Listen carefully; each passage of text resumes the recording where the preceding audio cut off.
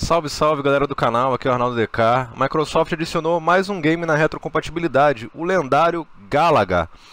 Um joguinho que eu joguei muito no fliperama, um jogo que eu sou apaixonado.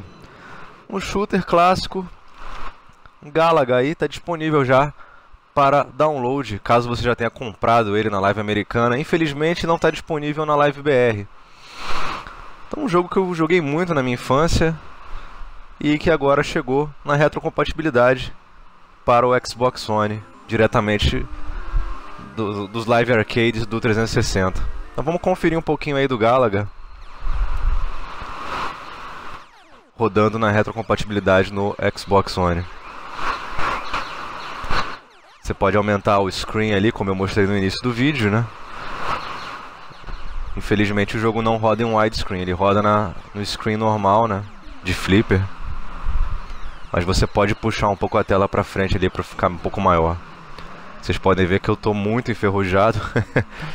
e ele é um jogo muito fácil de se completar, de fazer os 200 de Gamerscore, né, que é o valor dos live arcades mais antigos de 360. Que ele tem o Stage Select, né?